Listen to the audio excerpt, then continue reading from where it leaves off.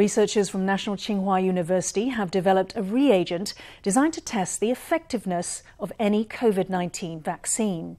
After the vaccine is administered, the reagent detects the presence of any antibodies, delivering results in just 15 minutes. That's especially useful as the COVID vaccines developed so far offer varying levels of protection against the disease.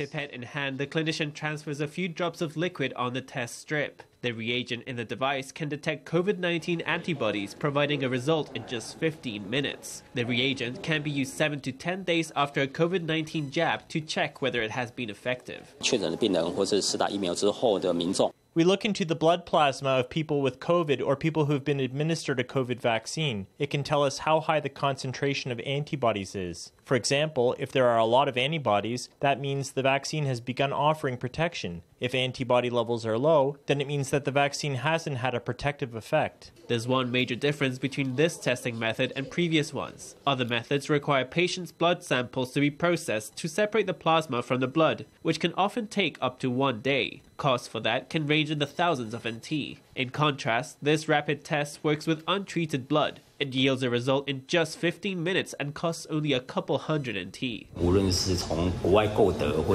be they imported or developed in Taiwan, we're going to get vaccines at some point, so we're researching this beforehand. The professor says that although vaccination hasn't yet started in Taiwan, making sure Taiwan is ready is a must for researchers. He hopes the findings can help Taiwan's vaccination program unfold smoothly while giving peace of mind to the public.